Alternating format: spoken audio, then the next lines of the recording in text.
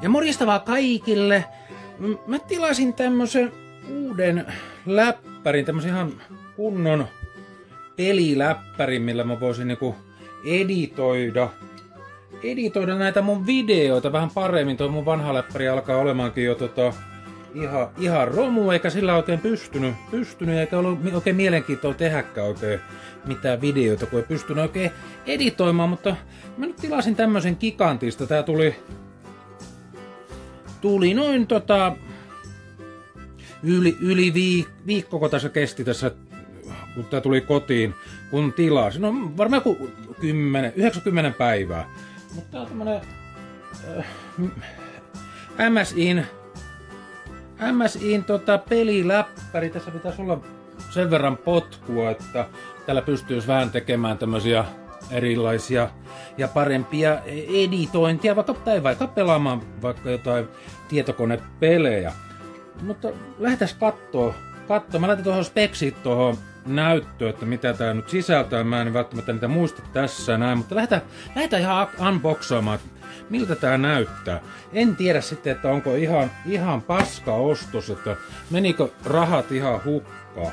Tää maksoi makso noin tuhat euroa, tai oliko tarkalleen tuhat sata euroa. Mun mielestä tää oli aika suht halpa tämän tason läppäriksi. Peliläppärithän on aika kalliita, että toivottavasti ei nyt mennyt,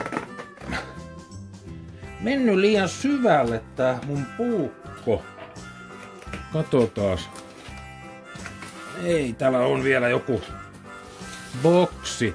True Gaming! True Gaming lukee täällä. Katsotaan miten tää... Oi, oi.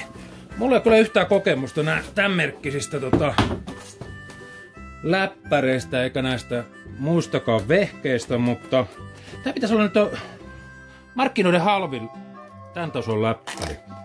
Katsotaan tosta miten tää lähtee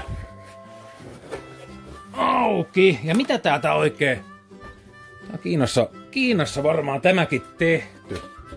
Norja, gigantin Norjan varastoltahan tää tuli, että... Aha. Tossa on toi läppäri. Laitetaan se, laitetaan tohon. Katsotaan mitä täällä... Täällä jotain manuaalia. Ja jotain johtoja löytyy. Oho, tää on vähän raskas kyllä tää. Virtalähdekö tämä on? Katsotaan minkälainen tota tää läppäri on. Tässä on joku suojamuovia. No niin. Ei muuten paina kauhean paljon, että onko tämä paino alle kaksi kiloa, että sekin oli yksi hyvä, hyvä juttu, että tämä ei kauhean ka- painava tää, tää läppäri. Katsotaan tota, näkyykö se tosta, jos mä laitan, laitan tohon noin. No niin. Joo. Näyttää kyllä aika tyylikkäältä. Näkyykö se tästä?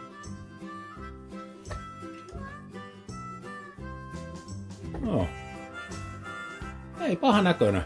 Tämänkin videon va- varmaan tota sitten editoin tällä läppärillä, että katsotaan, että onnistuuko tällä mitä, mikä editti. Varmaan tää pelejäkin alkaa varmaan tulee sitten jossakin vaiheessa.